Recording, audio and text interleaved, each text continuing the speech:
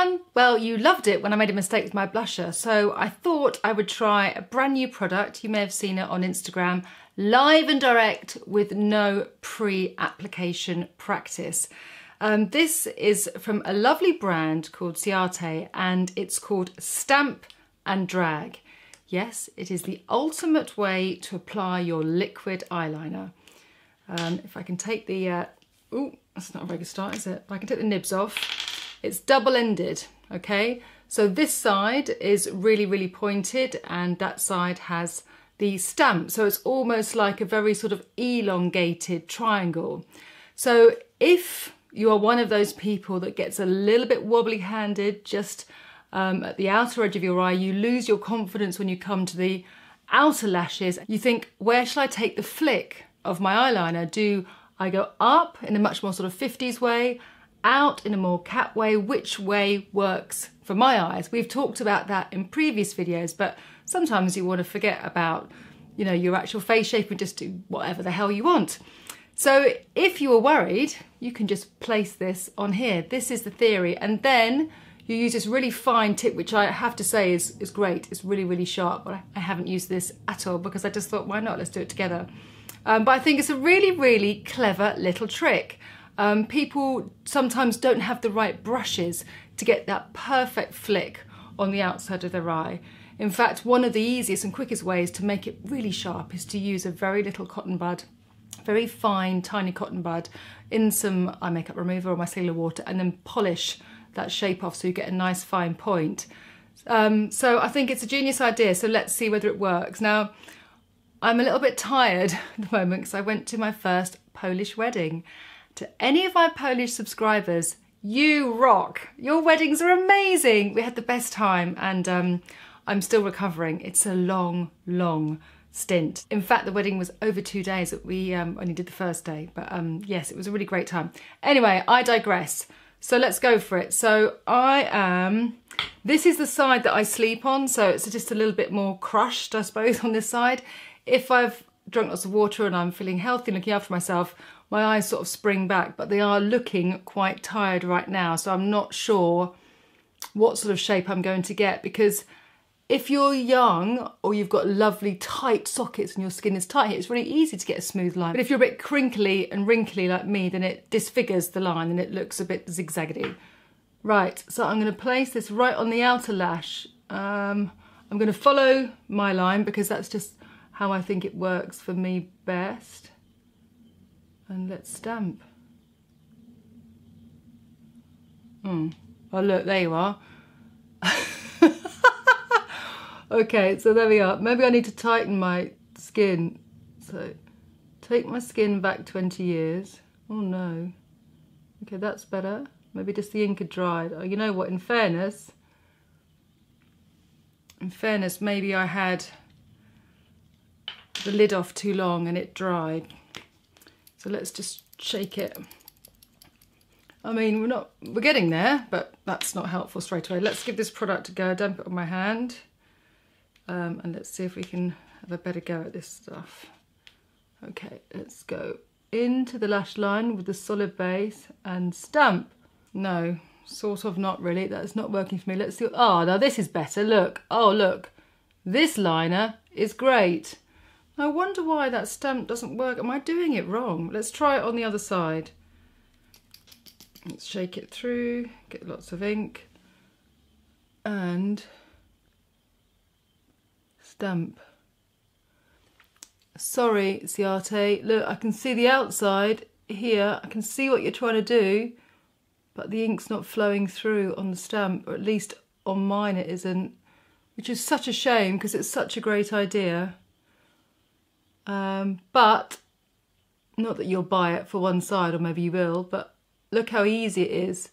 I'm stretching my skin obviously so that I don't get um, a bumpy line. But that sits quite nicely there. Now I'm just going to do it on the outside of my eye to give me a lift. So I've gone thicker on here. Right, so let's get my cotton bud with a little bit of eye makeup remover and let's just stretch that out. You see, make sure it's oily. Don't worry about the smudging and use the tip and then clean up with the other side. Don't over apply the oil because then you'll make a right old mess. But essentially what you want to do is just create a little bit of a lift and my eyes will come to life when I've got the mascara on. I mean, it's not a proper lovely tick as we'd hoped, but you know, life doesn't work out that way, does it sometimes? Definitely not today anyway. Right, so, okay, don't overdo the eye. I quite like the way this is going on this side. But as I said, this is my better eye. I can get more of a, a lift on this eye. But I'm going to perfect this one. Look at myself. Look, it's a really nice applicator as liners go. But if you know someone with great, fabulous eyes, I bet the stamp would work better. But I had hoped that the delivery system of the ink, because you see, when you apply it, the ink's running down. So the applicator needs to hold enough ink to make sure that when it's upside down, it's still coming out. Okay, I don't want to take it too long, so I want it to work with my eye, not against my eye. And I need to fill in all these little gaps in between the roots of your lashes. Oh no, I'm struggling with this. Sorry, this is not working at all. Let me refix. There we are. I'm much happier with that side now. You see how it's given me definition and a little bit of shape. Maybe next week I'll do one with a product that I love and use when I do my eyeliner.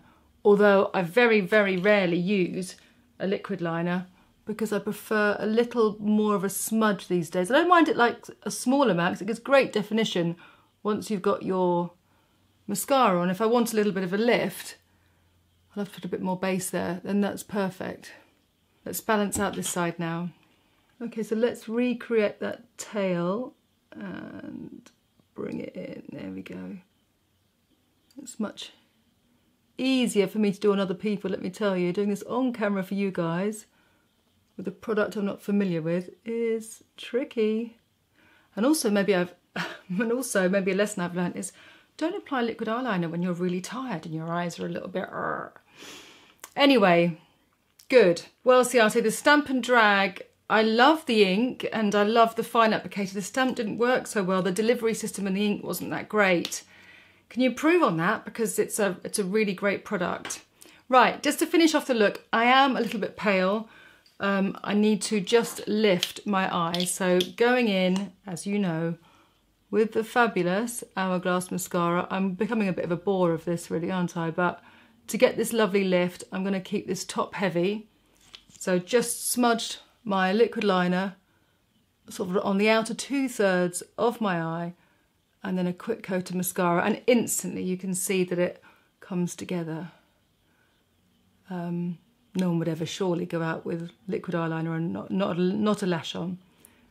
Lash and a brow, and a bit of lip balm and it brings the best out of most of us. Right, I'm just going to finish off my eye here. I'm going to use a little bit of bronzer, I think, just to warm up and kind of keep it quite caramelly because of my top. I'm just going to use a little bit of the Delilah matte bronzer just in there, just to lift my socket because I need all the help that I can get to create that space. But that's it. I'm just putting it on powdered skin over the foundation. So I'm going in with a little bit of bronzer to warm up my skin. I'm going to use a nice big brush. This one is by a company called Kit Starts. Nice big fluffy brush. I'm going to take it just underneath and I'm going to do it in real circular motions all the way around my face but you know going round the hairline area so I'm leaving the front panel light so I'm just almost just bringing up the warmth in my skin tone very, very gently, just to kind of give me a little bit more life, but not looking stripy or overly bronzed. I think that's why the, the matte bronzers look a little bit more delicate. Let's keep rolling in with that.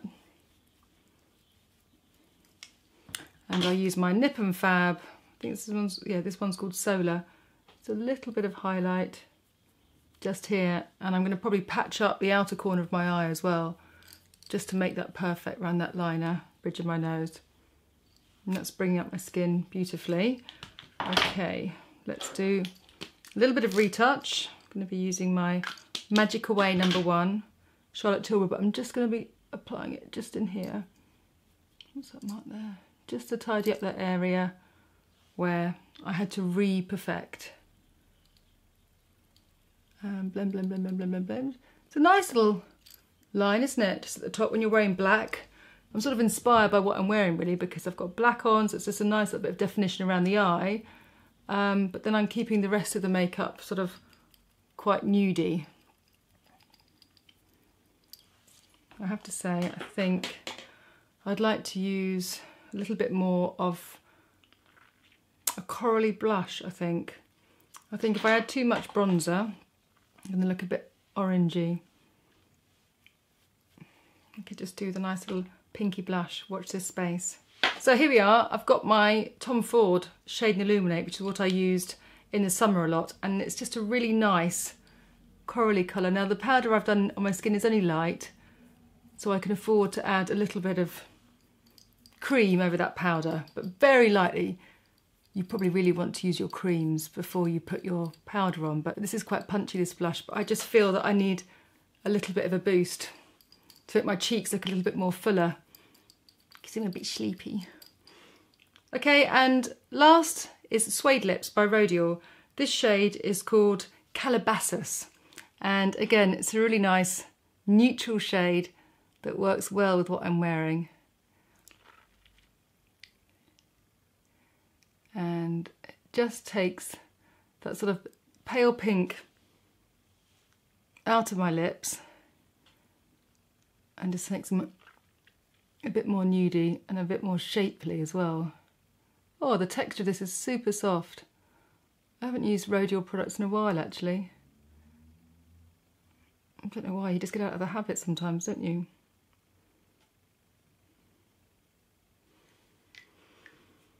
Gosh, okay, well I definitely look better than I did before. um, but as you know, I'm obsessed with oil in my face. I just, because I feel a little bit parched, I've just used my um, Drunk Elephant, which is probably one of my favourite products out of their brand so far. And I will do another update on the products that I'm using. I'm going to use the Marula oil. It's lovely with makeup, it really is. I'm just going to press it over my makeup like that. And my lips. There we are. Now that's great. Now, especially under the eyes, that feels a lot fresher. Good. Okay, so Stamp and Drag eyeliners, maybe for people with less crinkly eyes, um, better delivery system, but brilliant idea. And um, isn't it great just to have like a little soft flick on the top line of your lashes because it gives you a great lift. And as always, thank you so much for all your lovely comments below. Um, it's really lovely exchanging ideas and tips and learning from you guys as well. It makes everything I do worthwhile. So thank you so much and have a great weekend.